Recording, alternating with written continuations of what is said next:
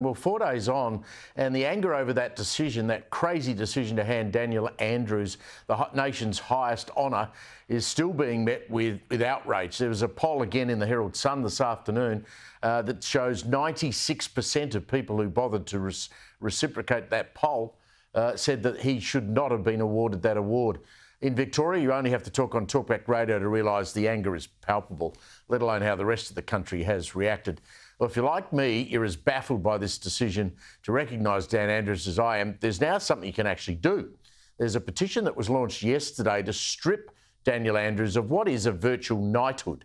You know, Sir Daniel Andrews. Joining me now to discuss is the man who's launched this petition, Victorian Nationals leader Peter Walsh. Peter, good to see you again. What prompted the idea of the petition? Good evening, Steve. So, as your introduction said, a lot of people very unhappy. Uh, we want this this petition is to petition the Governor General to actually withdraw that award.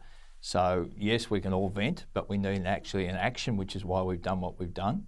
Uh, a litany of broken promises, deception as a premier for, for a decade, uh, and we don't believe he deserves that particular award.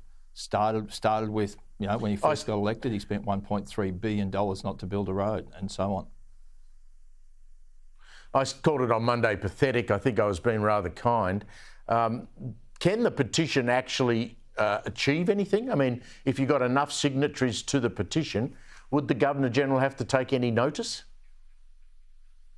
Well, he doesn't have to, but, he, but if there is enough people signed, I believe it would be his role to actually make sure he does take some notice. There has been people in the past who have done things wrong that have had their awards taken away.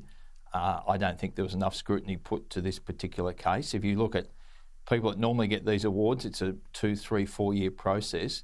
This was done in less than 12 months. That, to me, smacks of uh, political interference to make sure it was put through quickly. As I was saying before, if you go through his career, it's broken promise after broken promise.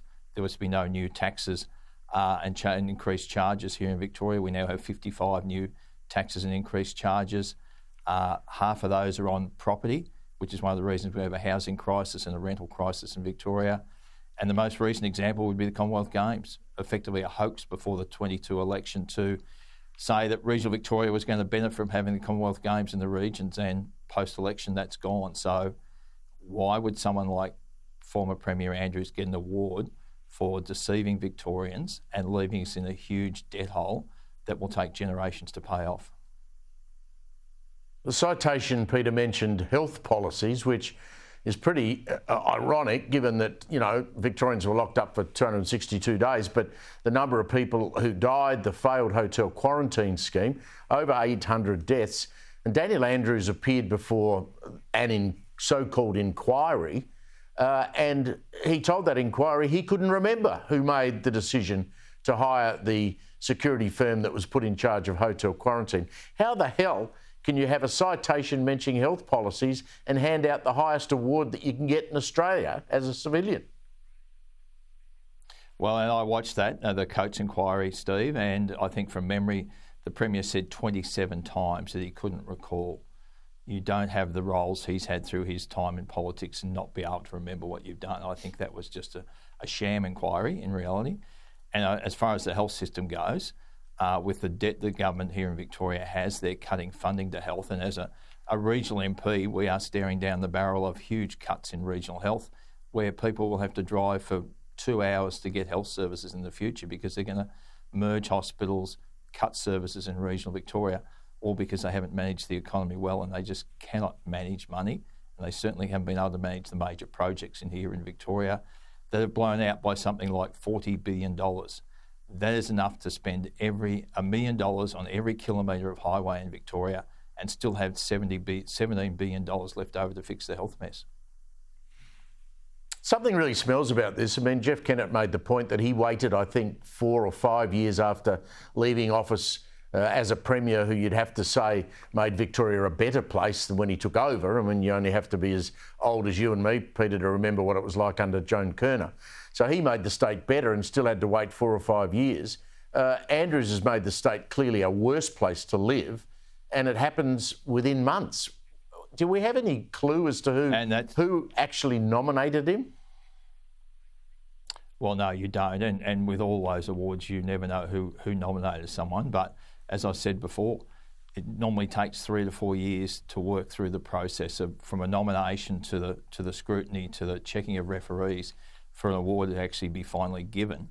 Uh, this is done in under 12 months since the Premier left. It just smacks of political intervention in what is supposed to be a, a, a fair process. I don't think it was fair at all, and I think the fact that there is so many people aggrieved uh, since we launched this petition, there's there's over nearly 8,000 signatures already and it's only just started to get going, the more signatures we can get, uh, they will go to the Governor General with a covering letter from myself asking him to review the decision and withdraw it. I'd urge our audience to sign it. Uh, the opposition leader, John Pesutto, was asked about the petition today. Here's what he had to say. I generally don't sign petitions. That's been my practice over many years as a as an MP and someone involved in public life. I generally don't sign them, but Peter is totally justified in wanting to pursue this on behalf of his constituents. You generally, generally don't, but will you this time? No, I won't be signing the petition, but I don't generally. Why wouldn't he sign it? Well, I haven't spoken to him about it, Steve, but I will be lobbying John to make sure that he does sign it. I, I think every Victorian that feels aggrieved about this award, and particularly is just aggrieved by the way the state is at the moment, with the record debt, the challenges that we have with blowout in major projects, the challenges we're going to have in our health system with the way they're going to slash and burn our health system, particularly in regional Victoria, I'll be urging John to reconsider and actually sign this petition. Uh, all my National Party colleagues will be most definitely signing the petition. Uh, I've been inundated, our office in the Echuca has been inundated with people making calls as to how they actually go about signing it. And, I, and when we get all those signatures, as I said, we'll send it off to the Governor General with a covering letter saying, please, uh, can you re-examine this decision? And we'd be asking him to actually withdraw this honour that the Premier was had bestowed on him. Peter Walsh, thanks for that. I'll be signing that petition tomorrow. I've got to say, and I won't ask Peter to comment on this, but seriously, John Pesutto is completely out of touch if he doesn't think he should be signing that.